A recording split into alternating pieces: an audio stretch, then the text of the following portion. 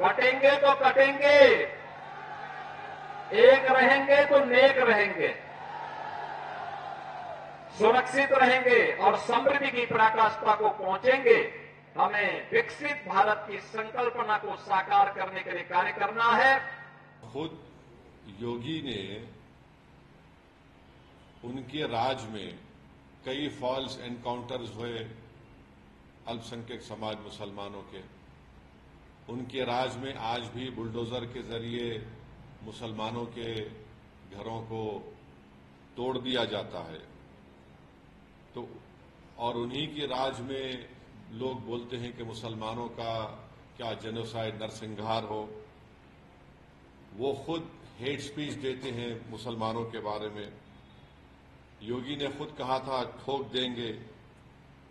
तो जब वो खुद इस तरह की बातें करते हैं और देश की अखंडता और यूनिटी की बात जब वो करते हैं तो उनके मुँह से जब इतने सब अनाप शनाप बातें निकलती हैं तो फिर वो तो कुछ और ही बात कर रहे हैं। तो बांटेंगे तो कटेंगे, भाई आप ही तो बांट रहे हैं।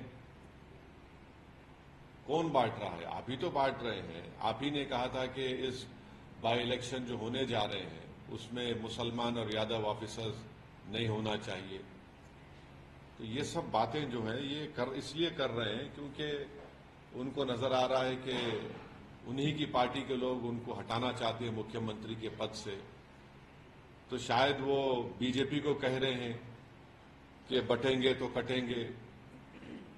तो ये इनका इनसिक्योरिटी है, उनकी अनपॉपुलैरिटी है उत्तर प्रदेश में और फिर वो भूल गए कि जब देश की अखंडता की बात कर रहे हैं तो जो डिफेंस की ज़मीन थी, उन्होंने इंडस्ट्रियलिस्ट को दे दिया वहाँ पर। तो ये सब इनका रिकॉर्ड रहा है। तो इसलिए वो बोखलाहट का शिकार होकर अपने हजब आदत सिर्फ़ मुसलमानों को निशाना बना रहे हैं अपनी हेट स्पीच के ज़रिए।